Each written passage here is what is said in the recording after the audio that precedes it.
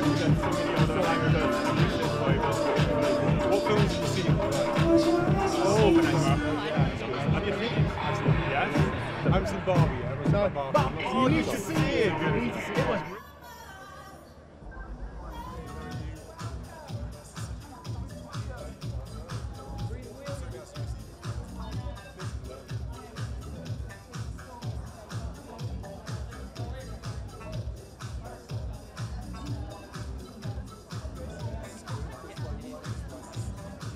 Chair of our film association. Nice to you, exactly. Had good chat about, I think, Top Gun Maverick last year. Oh, I know. I'm afraid I did. I mentioned to you, didn't I, about why uh, sort of some of the big grossing commercials don't make it quite through. Well, we've done it for you this year.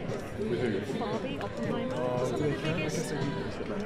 We really do. And we've got quite a few uh, Guardians of the Galaxy, a couple of Yeah, I others.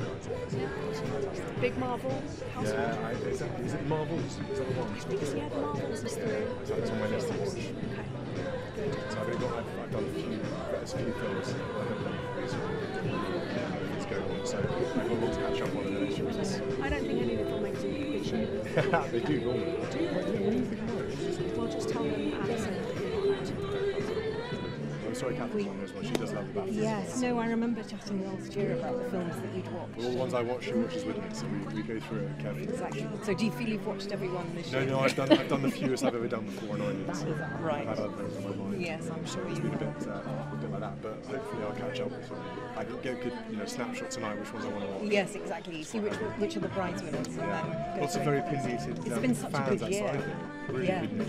Oh, really? Swayze, Telling you what to- Yeah, telling you what to go and see.